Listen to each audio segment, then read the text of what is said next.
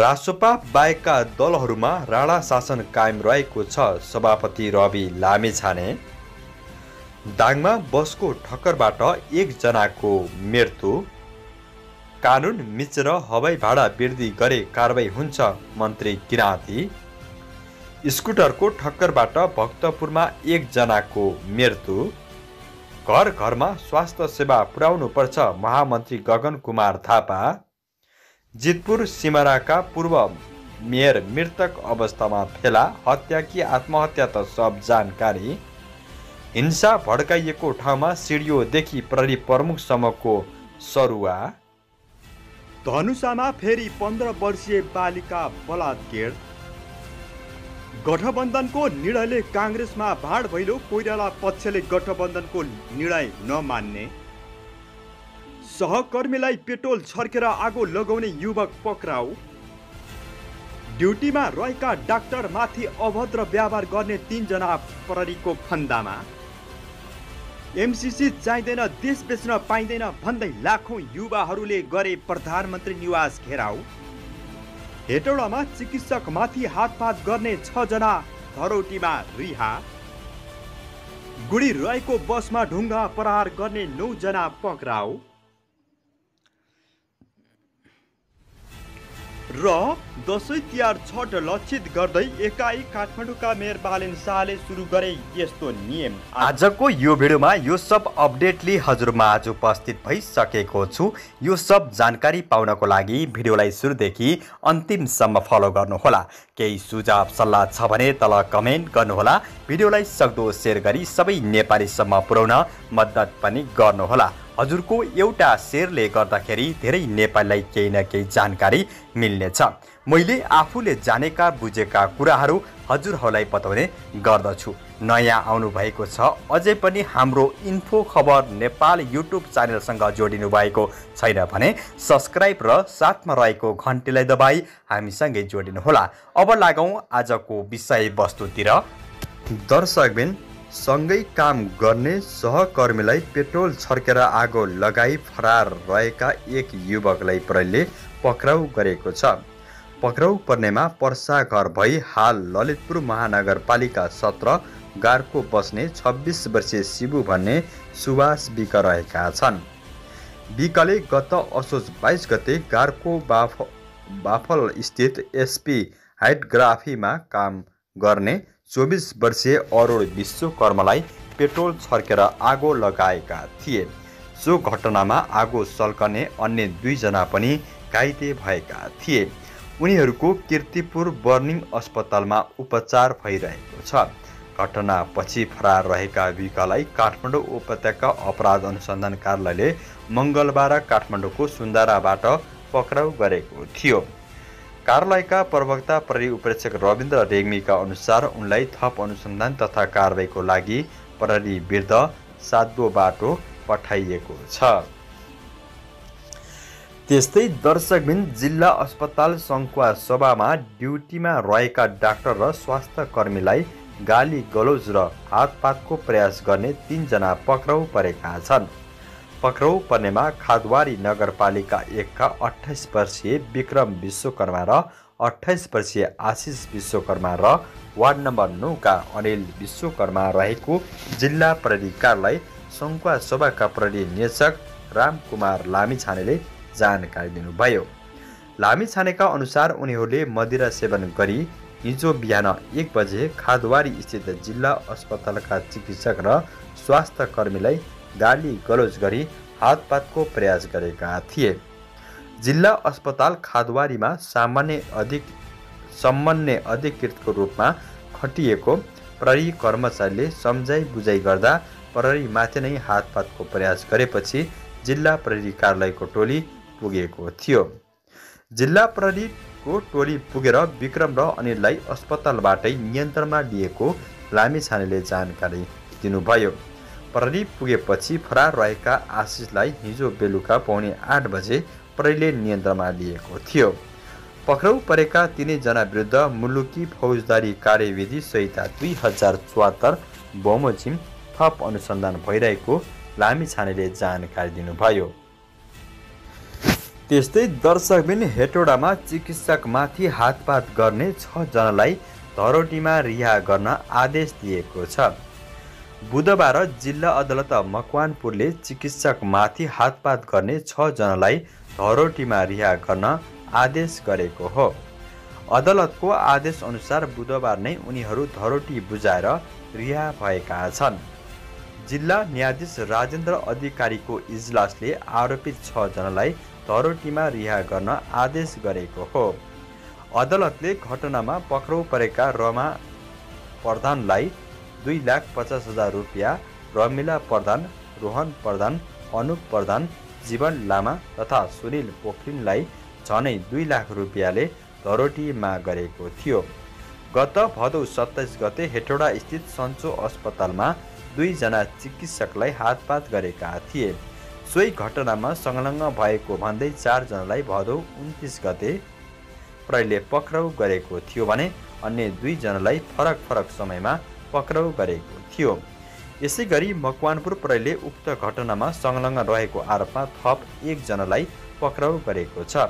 प्रहरीले हेटोडा उपमहानगरपालिका बाह्रका छत्तिस वर्षीय सुभाष स्याङताङलाई हेटोडा दसका दसबाट पक्राउ गरेको हो।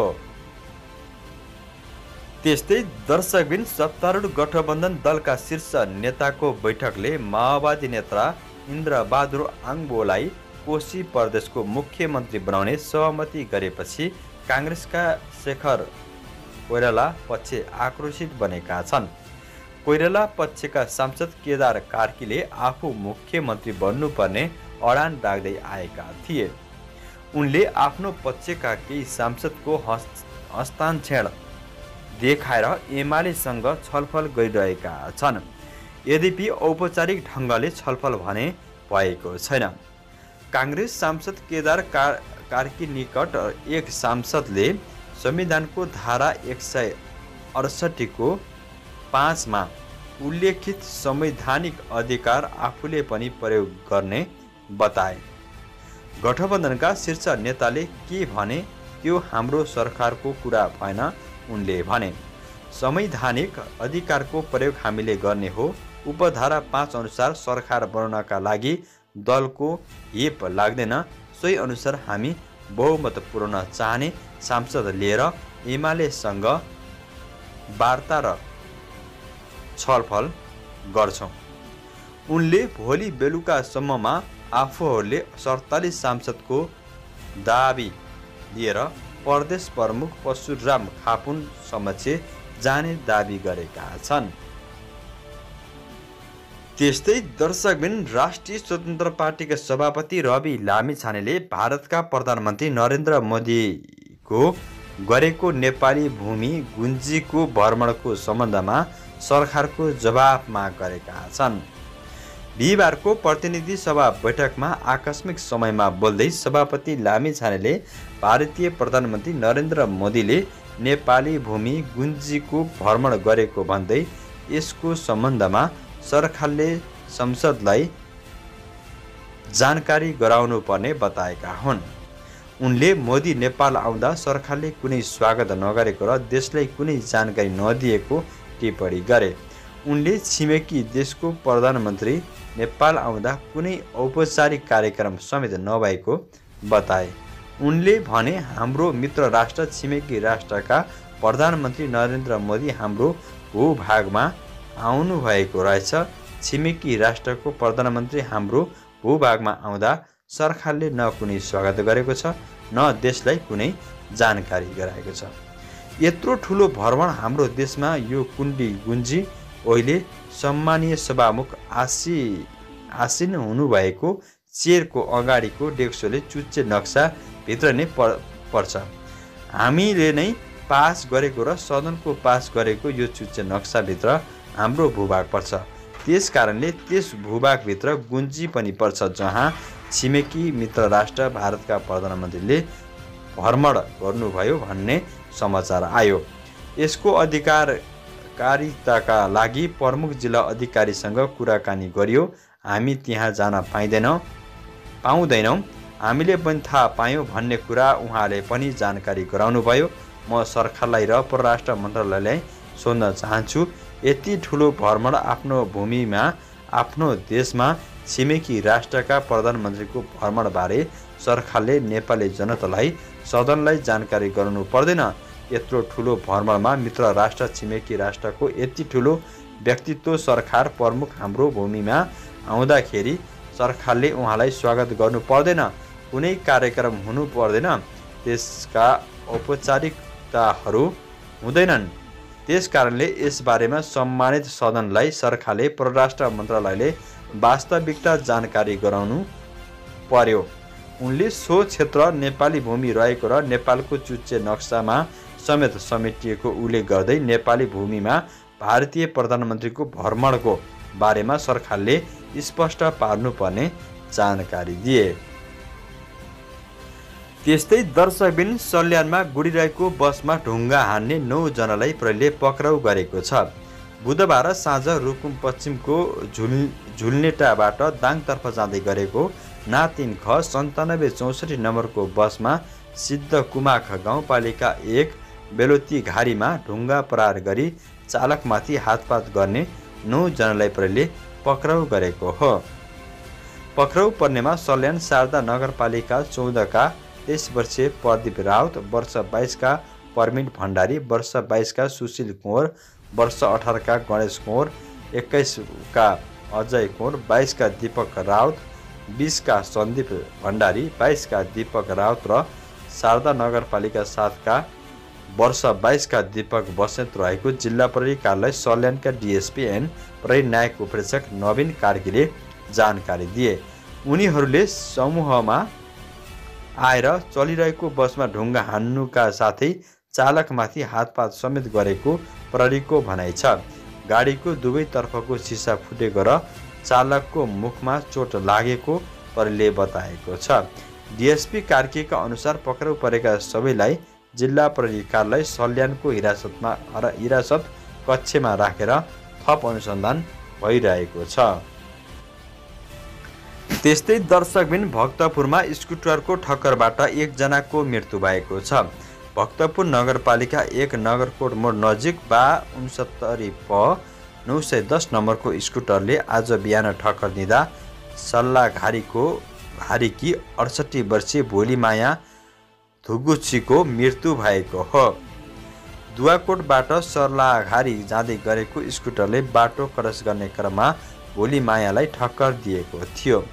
गम्भीर घाइते भएकी उनको डाक्टर युवामुरा अस्पताल भक्तपुरमा उपचारका क्रममा मृत्यु भएको जिल्ला प्रहरी परिषद भक्तपुरले जानकारी दिएको छ।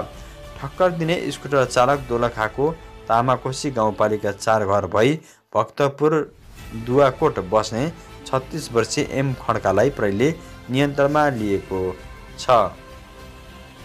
त्यस्तै दर्शकबिन क्रिकेटर सन्दीप लामेछाने विरुद्धको बलात्कार मुद्दाको सुनाइ बिहिबार पनि स्थगित भएको छ।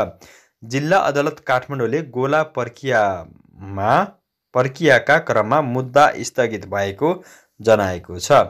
जिल्ला अदालतका स्वेतेदार रामु शर्माले सन्दीप लामिछाने विरुद्धको मुद्दा रहेको फाँटको सबै मुद्दा स्थगित भएको बताए। उनले भने सुरुवा सरुवा भएर आउनुपर्ने सबै न्यायाधीशहरू आइपुग्नु भएको छैन। गोला तान्ने क्रममा त्यो फाँटको सबै मुद्दा स्थगित भएको हो। बालिका बलात्कारको आरोप लागेका लामिछाने विरुद्धको मुद्दा काठमाडौँ जिल्ला अदालतमा विचाराधीन रहेको छ।